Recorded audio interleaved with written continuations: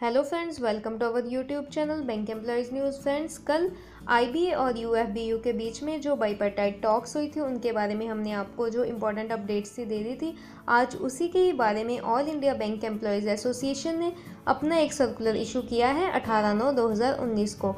और इसमें उन्होंने बाईपार्टाइट टॉक्स में क्या क्या डिस्कशन हुई है वो पूरी डिटेल में बताया है। सबसे पहले जो डिस्कशन हुई है, उन्होंने परफॉर्मेंस लिंक्ड इंसेंटिव स्कीम के बारे में बात की है। ए आई बी ई ए ने बताया है कि आई बी ए ने प्रेजेंटेशन बना के परफॉर्मेंस लिंक्ड इंसेंटिव स्कीम के बारे में बताया है और उन्होंने कहा है कि ये जो इंसेंटिव है, ये एडिशनल होगा वेज रिवीजन के ऊपर से।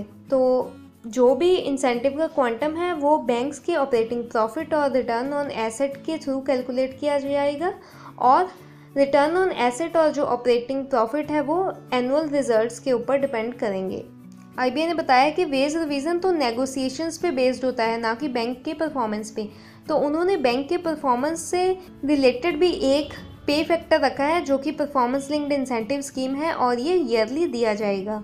और अभी जो यू एफ़ बी यू है, वो इसके बारे में चर्चा कर रही है, और इसके बारे में वो आई बी को नेक्स्ट अपने सजेशंस दे देगी।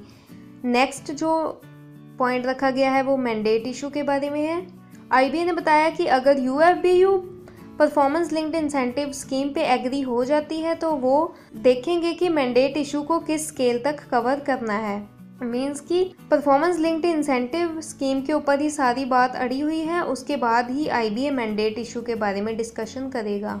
कुछ ही बैंक है जिन्होंने फुल मैंडेट नहीं दिया है और उसी के कारण अभी मैंडेट इशू रिजॉल्व नहीं हुआ है। नेक्स्ट पॉइंट रखा गया है कि आईबीए ने अपने ऑफ़र को इम्प्रूव कर दिया है। आईबीए ने अपने ऑफ़र को 10 परसेंट से 12 परसेंट तक कर दिया है, लेकिन यूनियंस ने कहा है कि हम चाहते हैं कि आप ये ऑफ़र को और भी इम्प्रूव करें। कम से कम उतना तो इम्प्रूव करें जितना की लास्ट वेज रिविजन में हुआ था। नेक्स्ट फाइव डे बैंकिंग का पॉइंट है। तो इसके बारे में आईबीए ने कहा है कि इस इशू की डिस्कशन कंसर्न अथॉरिटी से चल रही है और सभी स्टेक होल्डर्स के व्यू पॉइंट लेने के बाद ही इस इशू पे अपना डिसीज़न दिया जाएगा। नेक्स्ट टॉपिक है improvement in family pension and updation of pension इस मीटिंग में आईबीए के साथ रिटायरीज की भी बात हुई है। उसमें पेंशन अपडेशन और फैमिली पेंशन की इम्प्रूवमेंट की बात पे आईबीए ने बताया है कि ये काफ़ी सिंपथेटिक इशू है और इस मैटर को हायर अथॉरिटी से अप्रूवल लेने के बाद ही डिस्कस किया जा सकता है। और उन्होंने कहा है कि पेंशन अपडेशन के लिए एडिशनल प्रोविजंस चाहिए और वो पेंशन फंड को डिटेल में एग्जामाइन करेंगे।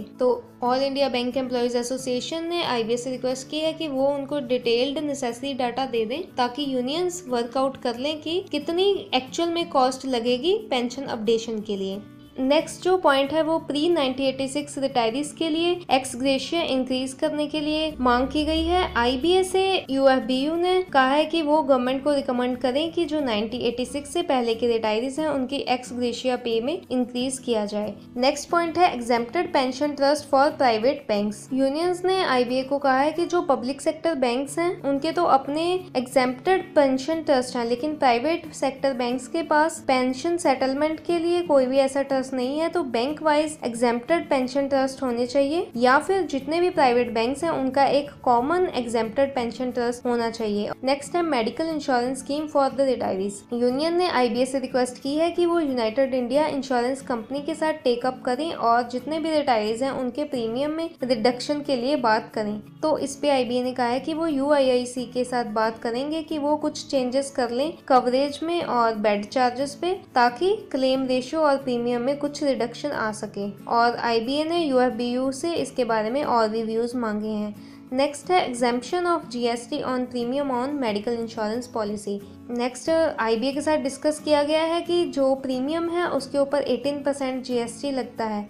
तो इस बर्डन को भी रिमूव कर देना चाहिए और गवर्नमेंट को चाहिए कि मेडिकल इंश्योरेंस पॉलिसी से कम से कम रिटायरीज के लिए तो जीएसटी को रिमूव कर दें। और आईबीए ने कहा है कि वो इस मैटर को भी गवर्नमेंट के साथ डिस्कस करेंगे। तो फ्रेंड्स ये सारी डिस्कशन हुई है वर्किंग एम्प्लॉयज़ और रिटायरीज के लिए कल की मीटिंग में। तो इसी के बारे में all India bank employees association ने ये सर्कुलर इशू किया था। Thanks for watching this video please like share and subscribe